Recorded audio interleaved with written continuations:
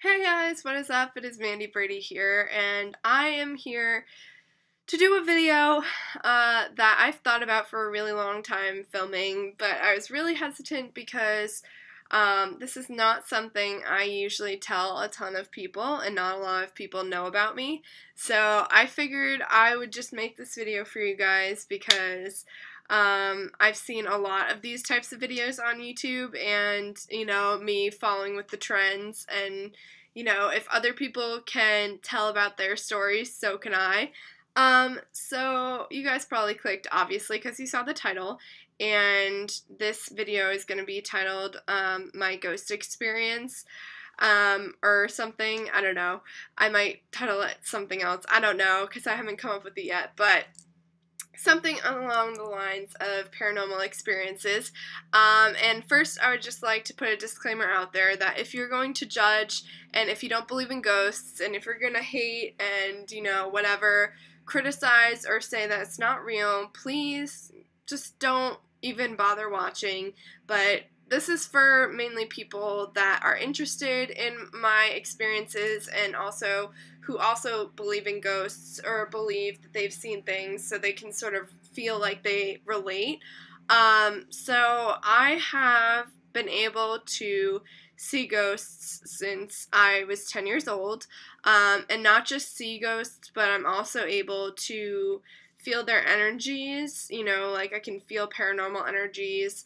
Um, I've always been very hypersensitive to paranormal energies and um, you know i've also been able to catch one on camera before i've also heard one speak to me before and sometimes you know ghosts um, you know they come to me in my dreams and they'll tell me something and i don't know who they are and i don't know like why they're telling me these things but you know I have a lot of experience with the paranormal, and um, you know I've been able to do this since I was ten. Like I said, um, you know I was more more able to see the ghosts, like actually see them for myself when I was ten, or when you're younger.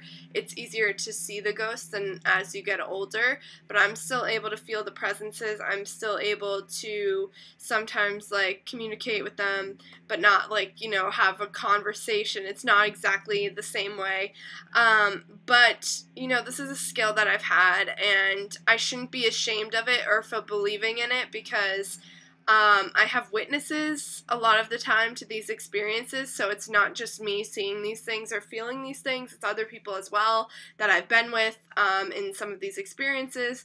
Um, so today I'm just going to share with you guys uh, one of my ghost experiences, and if you guys like this one, then I will share more because I have a lot of experiences. Um, but I figured I'd just start where it all began, when I first saw when I saw my first ghost. Um, so I thought I would just start with that story, and if you guys like this stuff and want to see more of my paranormal stories and experiences, then please like this video and give it a comment or something.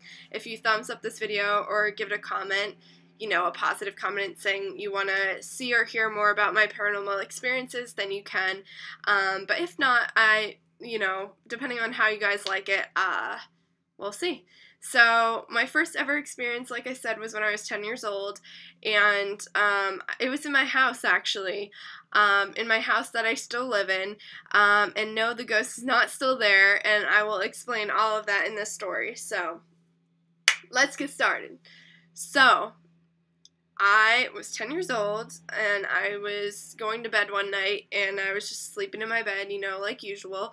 And I was minding my own business and all of a sudden I felt this really weird energy. Like I felt like someone was watching me and I just remember I had this really overwhelming feeling of a presence um, or some sort of thing in the room and I was really freaked out. I was like, what's happening? I'm like, I don't understand. Like, why do I feel like something is in this room? So I remember I was like peering out from under the covers because I, ha- I usually sleep with like the covers like mostly over my head and like cuddling into my covers. Um, so I start to pull them down a little bit and I see this girl and I freak out. But like I'm more shocked than anything. My eyes are just bulging out of my head like wide open because I'm seeing this pale outline of a girl and like I can see her face too, like I can see her features, but you can tell that they're like almost translucent because you know it's not a human. Like you can tell it's not a real person. You know what I mean? Like you can tell that you know, the only people in my house are my parents and they're asleep. I'm an only child, you know, so nobody else could have been in the house. And I just see this outline of this girl who's really pale I'm getting like goosebumps even talking about it. Even though this happened like 11 years ago, I still get goosebumps telling people the story. Um, but she had like long dark hair, like it was like jet black hair. It looked like it was wet almost, but not really. It just looked like really straight and like dark. And I think it was wet, but I couldn't really tell. And then she had a very pale face very dark like eyes. Like you couldn't really see what color eyes they were. They were just like dark almost like black holes. Something like you would see out of a horror movie guys. And she was so pale. She was ghostly pale. That's she was the definition of ghostly pale. She wore like this long white dress. And i remember that it was like short sleeve or something. And i remember i think i saw something around her ankle. I don't remember what it was. I just saw like really pale, pale, and I think there was a mark on her neck. I'm not really sure. I think there was. I think there was, if I can recall correctly, that there was some sort of marking on her neck, like as if it looked like she was, had been strangled or tried to hang herself or something. And I was like, what is happening? And I didn't believe it. I was shocked to no end. I was 10 years old and I'm seeing this thing. I'm like, what's happening? You know, like I must be crazy. So then I roll over and I put the covers back over my head because I'm so afraid and terrified. I'm like, what's happening right now? Like, is this honestly real? So I flip over, I have the covers over my head, and then I pull the covers down again, like a minute later, and she's still there. And she's literally at the foot, like, not even at the foot of my bed. It's like in this little small corner in my bedroom. I can't really explain to you guys, but she was just standing there and staring at me. And I felt almost like she was going to walk forward towards me. Like I felt like she was going to come towards me. And I'm like, oh my God. I'm like, what do I do? What do I do? Like, I don't know. And I'm like, the best thing to do, like, if I learned anything from horror movies, and I hadn't watched any horror movies, I'm sure, when I was 10, but like, had I learned anything, actually, maybe I did watch horror movies when I was 10. I don't even know. But have I learned anything from a scary movie? You do not scream, you do not freak out, you do not run away, or maybe you do run away, but you know, whatever. You try to keep calm as best as possible because you don't want the ghost or the entity to know that they are affecting you in this way. You don't want to give in by giving them that energy, you know what I mean? By giving them that fear you know, because they can feed off of that. They know that you're scared. They can feel that you're scared. You know what I mean? So I was just like, you know, I I was freaked. I was like, what's happening? And I'm like, okay, you know what? I'm gonna try my best. Take a deep breath in. I'm gonna calm down. Just try to go to sleep. So I put the cover back over my head. I breathe. I try to ignore the fact that this energy is here. Ignore the fact that I can see this thing, and go to sleep. And I like tried to keep calm and I I think I before I actually fell asleep, I think I took down the cover one more time and she was gone. But I think I waited like a solid five minutes until she was gone because I could sort of feel that the energy or whatever was watching me was no longer in the room, like the presence. So, and then when I took the cover down again, I saw that nothing was there. So I knew it was a ghost. And I was like, holy shit. So, I told my parents about it and I was really freaked out. And I was like, obviously, I'm not going to want to sleep in my room ever again. So I told my parents I was terrified. I'm like, Mom, Dad, can I please sleep in your room? And I, I would really like to sleep on your floor, you know, just in your room, not even on your bed. Like, I don't really care. Um, so I slept on my parents' floor on, on an air mattress for two weeks, literally two weeks, because I was terrified to go into my own room and my mom was saying, "Oh my god, this is getting ridiculous, you know. I I don't believe in this stuff. You need to go see someone about this." So she took me to a psychologist, and the psychologist talked to me about it and was like, "Listen, honey, there's no such thing as as ghosts. It's not scientifically proven, so it's not real. I literally looked at her and I'm like, so science explains everything. Like, science explains why people fall in love and, you know, everything else and beliefs. Science explains beliefs. Yeah, I don't think so, honey. So, you know, obviously this lady's telling me I'm crazy, and my mom probably told her to tell me I'm crazy because I didn't believe my mom, obviously, when my mom was like, there's no such thing as ghosts, you know? Like, obviously I'm not gonna believe her because I freaking saw the thing. Like, she didn't see the thing, I did. So I'm like, alright, you know what, whatever. Like, this psychologist lady has no idea what I've seen, like, she doesn't get it. So, a couple months, I think, passed by or something. I don't even know how much time passes by, but I was still 10 years old. That much I remember. And I remember my family took a trip out to California and we were going to see my step cousins because I have three step cousins out in California and a step uncle, and then my aunt who's married to my step uncle. So we go out there to, I think, Lake Tahoe, California, which is where they have a house. And I was like, okay, cool. Like, I'm gonna just stay there and everything. And I was like, thinking to myself, I'm like, should I tell Hannah about this? Hannah is one of my cousins who, you know, uh, was around my age. And I was going to be spending the night in her room or whatever or spending a few nights in her room. So i wanted to like talk to her about it and like just tell her what happened. So i did and she was like wow are you serious? Like this really happened? And i'm like yeah. Like i'm really freaked out about it. I don't know what to do. My parents don't believe me blah blah blah. So i talked to her about it and then we go to sleep that night. And then she tells me in the middle of the night that or I think maybe even the next day. I don't remember when it was, if she told me that night or the next day. Because remember, guys, this is 11 years ago. I'm trying to remember from 11 years ago every single part. I just remember like the general gist. But she tells me that she's seen the ghost. She thinks she's seen the ghost. Sorry. she tells me that she saw a ghost that night when we were sleeping and I was in the room with her and I I apparently was like knocked out so I didn't see it. But I probably felt it. I don't really remember. So she tells me the next day, she's like, Mandy, I saw a ghost last night. I'm like, Connor, are you serious? I'm like, are you just saying that because I told you about my ghost experience? Now you're thinking you're seeing ghosts too? And she's like, no, Mandy, I'm like legit serious. Keep in mind, guys, I did not tell her anything, like no physical description of what this what this this ghost looked like, okay? She's like, I'm gonna prove it to you. I'm gonna draw exactly how this ghost looked that I saw last night. She drew a picture of the same exact ghost that I had been seeing. I freaked out. I was like, she saw the ghost? The ghost traveled from across the freaking country, okay? Because I'm on the East Coast, California's on the West Coast.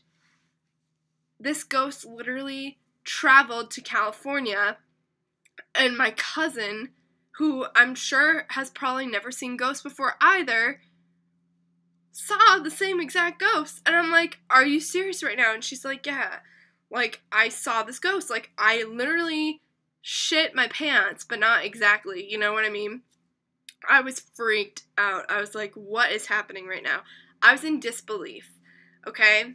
And sorry, I keep coughing. I have like this thing in my lungs. I don't even know.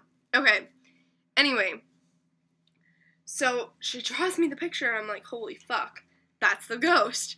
So, you know, then we talk about it and whatever, and then she's like, you know, the ghost told me that it wanted something.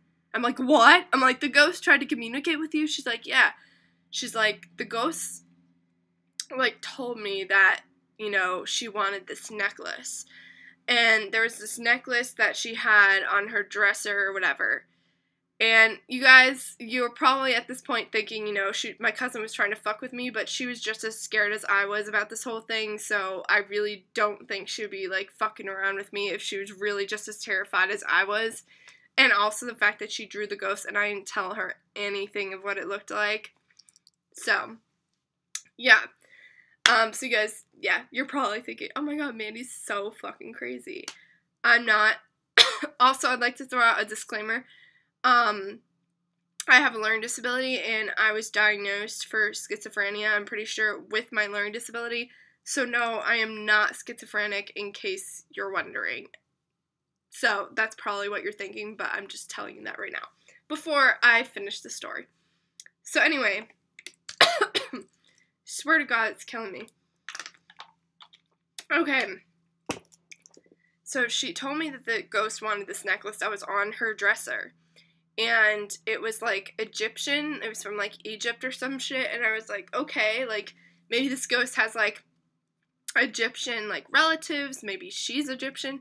Who the hell knows? Maybe it has some sort of it had some sort of symbolic revenant uh la la some symbolic relevance to her, I guess, the ghost. So I'm like, okay, you know, what does it want us to do with the necklace? Like how like what are we supposed to do with this thing? So she was saying that the ghosts want us to bury it in the backyard in like a little hole in the ground and then just like cover it back up because the ghost was really upset and angry. Like we could tell that the ghost was really upset and angry about something and you know, we didn't know why. And I think she either was I think she was killed by someone, honestly. I think somebody else killed her, but we're not really sure. Um, or at least I knew back then, I'm not sure now. Um, sorry, I keep coughing, I feel really bad. So, yeah, so she was saying, um, you know, like I want to be able to pass on into heaven, you know, into the light. Like I don't want to be on earth anymore because you know, when ghosts ghosts are here for a reason. They're here because they have unfinished business or they died an unwilling death and they weren't supposed to die. So this girl, yeah, she was like what, 17? She looked like she was 16, 17 years old. She wasn't meant to die. She was meant to live for like years, you know? And some other person, I'm pretty sure, killed her. So, you know, obviously it was an unwilling death, so that's why she felt like she was stuck here. Sorry. So that's why she felt like she was stuck here. So, if we buried this necklace in the ground, she would hopefully pass on and go to heaven and not be stuck on this earth anymore and she would be at peace. So, my cousin and I said, okay, like, we're gonna help this ghost. Like, we want this ghost to pass on, be in peace, you know. We were freaked out, we didn't know what to do, so I guess this is what the ghost wanted. So, we went outside. Sorry. We buried the necklace in her backyard and kept it covered.